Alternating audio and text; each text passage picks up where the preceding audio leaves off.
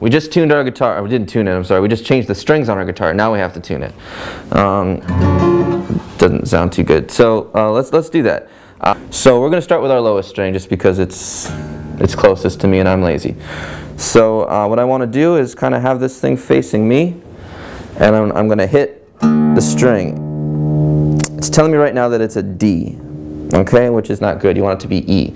So now we got to figure out where's D um, in relationship to E, and it's lower, right? D, E, F, G, A, B, C, D, E. So you want to bring that up a whole step. So we're going to grab our tuning peg. We're going to hit it first. We're going to let it ring, and we're going to see where it registers. Okay, it's telling us now we're at an E. There we go. Okay, after we get to an E, we have to get this little needle so that it's right in the middle. When it's on zero, then we're doing pretty good. Okay? So there we are. We have the light here that tells us we're on E, but we're still not in tune. It's bouncing between an E and a D. So let's, let's bring it up. And you want to let it ring. Don't choke it. Let it ring because you gotta, you gotta let the thing pick up what's going on here. Okay? And now we're going to just tune it up until we see that needle get to zero. We're almost there. There. That's basically in tune if it, you know, these things kind of get funny a little bit and they spin around on you, and I wouldn't worry too much about it. You get it close, and it, it should be good. Okay? Uh, right, so let's go on to the next one. Okay? So where we left off is we did this D. We had that basically in tune, um, although it's going to stretch and it's going to go out, like I said. So the, there's a couple ways to tune it, the next string, using this D string. Um, what I would start with is going to the fifth fret. So count up one, two, three, four, five. Fifth fret, that's where the first or second dot is, depending on your guitar. Um, you're going to grab that, you're going to fret that string, right? And you're going to play the D string on the fifth fret. Okay, now that is going to be the same note as the G string rung open. So if they're not the same, you know something's wrong. So now you have to make a decision. Which one is higher? Okay, I think the first one is higher. So that means that my D string, it means that my G string is flat because I need to bring that up. Give it, you know, just do like eighth turns at a time. Don't do too much because it's really easy to overshoot. Still a little bit, right? Still a little bit.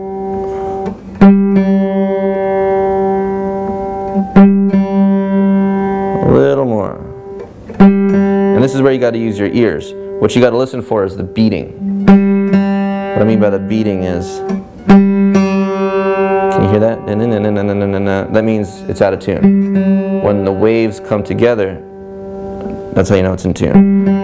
It's really frustrating at first for a lot of people to get, so just try it for a little bit. If you can't get it, go back to the tuner. All right, now we're approaching what we call the magic string. That's your B string Mm-hmm. okay, because it's not tuned to the same interval. It's not going to line up on the fifth fret. So when you get to the B string and you want to tune mm. that, using the G string, you have to go to the fourth fret. That's the only difference. All the rest of the strings, you tune from the fifth fret, okay? So you take the fourth fret, you're going to play it, and then you're going to play your B string. That's a little out, right? That's flat again, right? Mm-hmm. It's a little flat. So we're going to bring it up. You're going to tune it counterclockwise. And there it is. That's pretty close. Okay? Uh, I'm going to show you one more tuning technique. That's using harmonics. It's similar to going like this, but I, I feel like I hear a little bit better when I do it this way. So to do a harmonic, you put your first finger, or any, any finger you want, I use the first finger, you put it right above the fret of the fifth fret, okay? But don't push down. Just lay your finger across it hit the string, and at the same time that you hit the string, right, right after you pluck it, you're going to lift your finger up. It's going to sound like this. Okay? I'll show it to you again. Put the finger down, put your pick down and ready to pluck it. Without pushing down, directly over the fret, the fifth fret, you hit it, and then you lift up your pointer finger. Like that. Okay, so now you want to do it there. And now, to make it um, correspond to the next string, you're going to hit the seventh fret of your next string, okay? So it's going to sound like this. Okay, and you hear them two, the two of them together. That's a little flat. So I'm going to bring it up. And I'm going to do the same thing. I'm going to stretch it out.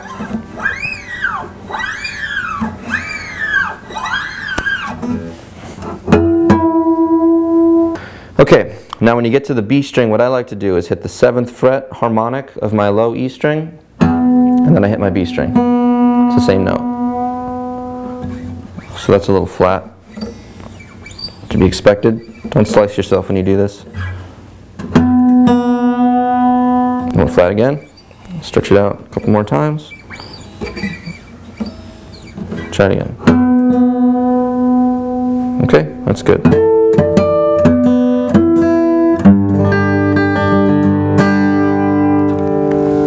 And there you go, your guitar is in tune. Uh, it can be frustrating, as you see, I, I, sort of struggled with it. I've restrung a lot of guitars and I've tuned a lot of guitars, so that, that is a little bit frustrating. But, um, you know, just practice, keep trying. It's hard to hurt it.